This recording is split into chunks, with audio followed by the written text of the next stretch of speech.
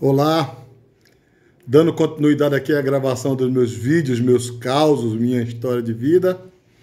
Ainda no ano de 1986, eu aqui começo a narrar o que foi o curso de qualificação de intendência, curso este que depois do período básico eu consegui entrar na 22ª colocação, foi uma boa, uma boa colocação, uma boa nota. A turma eram de 40 alunos. E ali nós começamos esse período de qualificação profissional dentro do Exército Brasileiro. Comandante do CPUR na época era o Coronel Pinto, o subcomandante Tenente Coronel Edno, o major comandante do curso de intendência, Major Estevans, auxiliado pelo Capitão Ayrton, Tenente Cabral, Sargento Eloé, Sargento Palheta. Esse era o corpo aí do curso de intendência. Eram seis cursos, na verdade, quatro armas, um quadro um serviço. E eu estava dentro do curso de intendência e o propósito maior de estar fazendo o curso de intendência foi a possibilidade de, no ano seguinte, ser convocado para servir como tenente R2 e passar aí um período na tropa aí ganhando um troquinho melhor do que eu ganhava antes. O curso foi espetacular, foi bem acima do que eu esperava uma turma muito boa nas diversas áreas.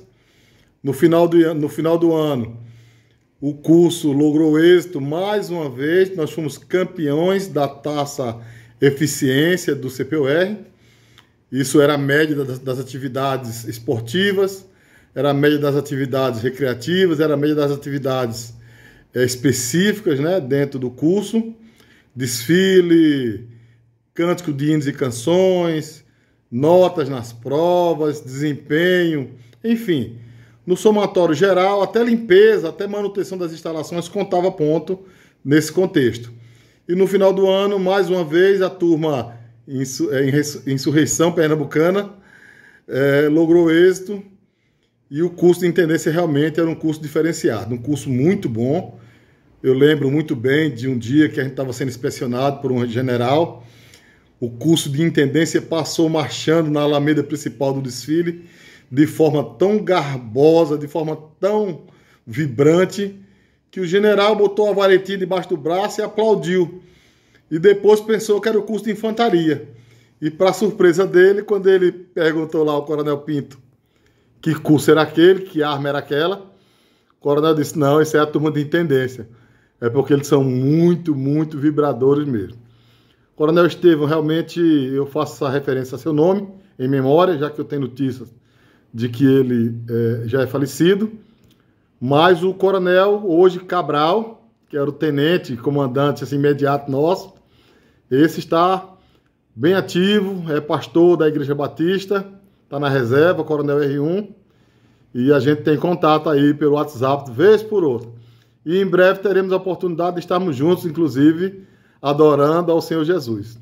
Um dado curioso é que a primeira vez que eu entrei em uma igreja evangélica foi no final do curso de intendência, no culto em ação de graças, por término de curso. Eu não tinha nada com Deus naquele momento, apesar dele ser comigo, mas ficou o registro né, da, da igreja batista ali em Casa Forte. Tinha um aluno também chamado João Lopes, que congregava nessa igreja. O próprio Tenente Cabral fazia parte do corpo daquela igreja. E ali eu tive a oportunidade de, pela primeira vez, entrar na igreja evangélica. O curso em si, ele nos proporcionou mais algumas marchas, né? É, mais uns dois acampamentos. Mas eu estava bem focado, bem equilibrado, já estava bem maduro, vamos dizer assim, naquilo que eu estava querendo. Os sonhos já estavam ah, é, traçados, alguns planos, que era terminar o curso bem, já que dos 40 eu entrei como 22 e eu aprendi cedo que era importante, e é importante você em qualquer curso de formação, você está no primeiro terço da turma, quando da conclusão, já que eu nunca tive vocação para ser primeiro lugar de turma, para ser 01 de turma, mas eu brigava, brigava, tanto é que no final do ano de 86, quando nós terminamos o curso de intendência, dos 40 alunos, como eu disse, eu entrei na 22ª colocação e terminei o curso em 11º lugar. Ou seja, de 40, uma excelente colocação, estava brigando aí no primeiro terço da turma. E isso iria definir o estágio no ano seguinte. Porque a gente terminava o curso, era declarado aspirante, como fomos. É, aí você voltava para a sua vida civil. No mês de junho, você fazia um estágio, inclusive remunerado, estágio de 40 dias. E esse estágio definiria a sua classificação para a convocação no ano de 88, já como tenente R2.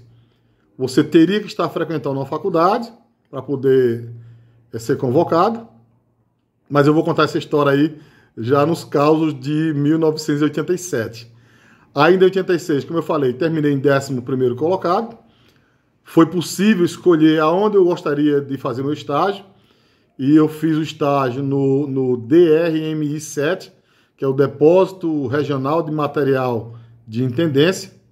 Foram para lá 10 alunos no ano seguinte e a gente tinha um bizu, né? Que a gente chama no quartel. A gente tinha uma orientação.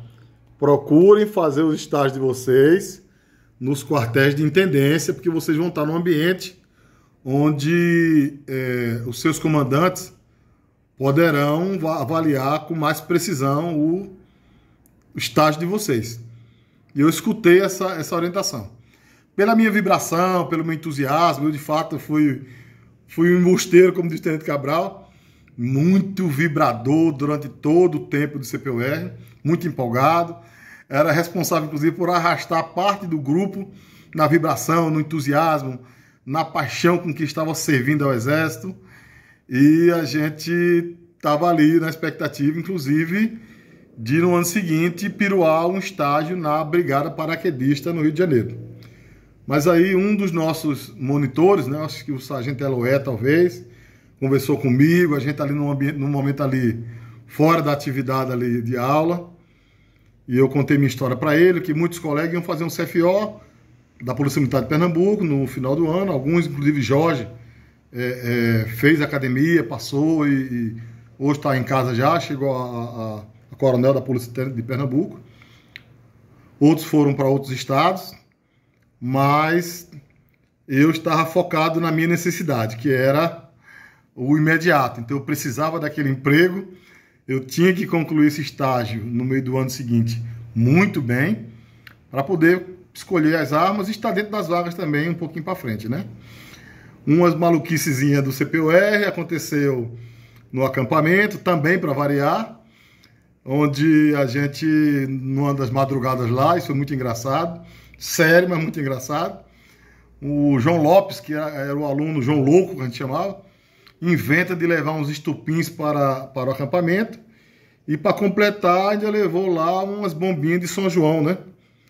Boa de murrão, como é só chama. E uma noite daquelas lá, todo mundo já preparando para dormir. O João Lopes me acorda, acorda Jorge, Kleiber, Pontual.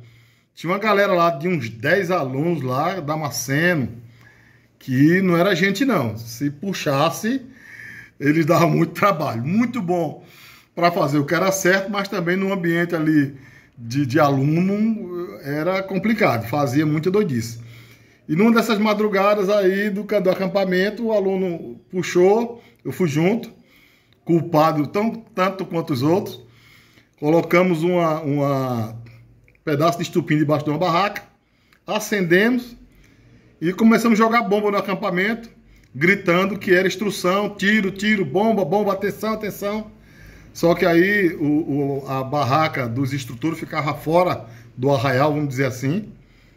E uma das barracas pegou fogo no lençol da barraca, corre, apaga, apaga aquele desespero.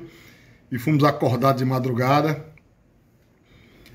O aluno Jácio, desesperado, que eu acho que ele era o xerife, foi chamar. Esse Jácio está aqui comigo, inclusive no Maranhão, é tenente coronel da polícia, está nativo ainda. Foi chamar os instrutores e vieram, e foi aquele pânico. Para variar, a, os outros alunos cercaram a barraca dos 10 e nos deram um cacete naquela noite. Se os instrutores não chegam, o negócio tem sido mais sério. E a aluno pegou baioneta para brigar. Ou seja, a gente estava todo errado, aprontando de madrugada, já estava no acampamento, tempo difícil. Acampamento não é para todo mundo, mas para esse grupinho parece que não, não era o suficiente, não. O sofrimento, o, a pressão, o castigo físico, a apagação, as instruções, a alimentação, ainda achava pouco e ia perturbar. Aí nessa noite nós pagamos ali canguru, flexão, pulinho de galo até amanhecer o dia, cortaram o café do grupo, o grupo ficou com raiva da gente, dos 10, e passamos uns dias aí, como diz lá em Pernambuco, intrigados, mas depois as coisas voltaram ao normal e tudo não passou numa brincadeira de mau gosto no acampamento, mas fez parte da história aí do registro aí. Os alunos, quando lembram dessas maluquices, só falta bater na gente de novo, porque foi um susto muito grande e era no momento de descanso da turma aí para encerrar o processo, né? Fez parte aí do período da alunato, fez parte aí da nossa, dos nossos causos naquele tempo. Outra história curiosa também é que eu, na minha vaidade, inventando coisa, numa das folgas lá, cheio de ir pro interior, lá fardado. Lá para Surubim. E andando lá naqueles carros lá da feira, no ônibus lá que foi pro Mocotó, visitei meu, meus avós lá fardado, para dizer, para se mostrar, para dizer que tava no exército, né? Os pais de papai, visitei eles lá fardado. Depois fui lá na, na terra do pai de mamãe. E curiosamente, quando eu cheguei lá no sítio de Manduri, meu avô lá tava cuidando lá de umas cabras lá que ele tinha lá de cria lá. Eu cheguei fardado, ele me olhou, não me reconheceu de imediato. Não sabia que seu neto estava no exército. Aí achou que eu era da Sucam, por causa da. Disse, olha moço, essa cabra aqui já foi vacinada, aquela ali, aquele bode ali falta vacinar, aquela outra cabra é, o senhor pode vacinar, inclusive se o senhor trouxe algum produto aí para a frieira na, na pata da, da, da cabra e começou a falar comigo como se eu fosse da Sucam por causa da farda, né? Olha a besteira que a gente faz quando é jovem. Ai, meu pai do céu, isso aí foi para contar a história mesmo, foi causa aí. E, e, depois foi que ele me reconheceu, aí se emocionou, me deu um abraço.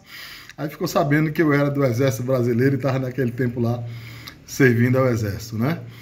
E aí termina o curso, como eu falei, 11 primeiro colocado, formatura lá no Geraldão, para variar, aconteceu duas coisas curiosas também. Primeira delas, papai chegou lá primeiro do que os alunos.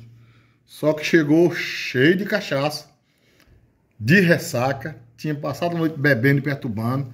De manhã bebeu de novo, chegou lá e foi lá se apresentar para os comandantes e com bafo de cana. E eu já estava era com vergonha. Ele falando com meus colegas que era meu pai, aquele negócio todo. E fez vergonha. Mas hoje eu aceito, entendo, mas naquele tempo não aceitei, nem entendi muito não. Porque a gente tem aquela coisa, né? Quem tem vergonha não faz vergonha. E foi, foi complicadinho mesmo. Eu até saí quando terminou a formatura, vim embora na frente, peguei o ônibus lá de, de Nova Descoberta e, e, e tirei para fora, como a história. Aliás, era um para o centro, depois outro para Nova Descoberta. E mamãe, para variar, ela chegou atrasada na formatura de ingresso no CPUR. Quando ela chegou, nós já tínhamos entrado. E na formatura de encerramento, também quando mamãe chegou no Geraldão, ela, a formatura já estava, acho que na metade para o final já. Isso é só para variar, dona Zefinha, que sempre tinha alguma coisa para fazer, alguma coisa para arrumar na hora de sair de casa. E achava que a formatura, eu acho que ia esperar por ela e esperar ela chegar. Nós éramos 200 e poucos alunos e a formatura foi uma formatura marcante. Tem uma foto comigo, com meu pai, com o Lindinaldo nessa foto, mas não tem mamãe na foto, porque ela chegou atrasada. Ela faltou a formatura aí de conclusão do curso, né? É, eu, a partir daí, fui preparar para fazer o vestibular. É, não consegui entrar na federal, mas consegui entrar na católica, que na época era um, era um vestibular só era a Universidade Federal de Pernambuco, Universidade Federal Rural de Pernambuco e a Universidade Católica de Pernambuco, essa última particular. Mas eu consegui entrar para a segunda entrada, já contando com o dinheiro do estágio do meio do ano, para poder me matricular, estudar um semestre e chegar no final do ano, depois do estágio, eu tentar a, a vaga para servir como tenente R2 e já estar aí com o semestre cursado, portanto, preenchendo todos os requisitos do Exército Brasileiro para continuar a jornada. Tudo planejado, tudo calculado, mas sem dúvida nenhuma. Deus abençoando, Deus colocando a mão em cima e dizendo assim: é por aí mesmo, o caminho é esse. E mais lá na frente a gente conversa sobre outras coisas, sobre outros propósitos, sobre outras missões. Eu finalizo esse vídeo agradecendo aí esse registro e no próximo vamos falar um pouco do que foi o estágio, do que foi o ano de 1987. Valeu!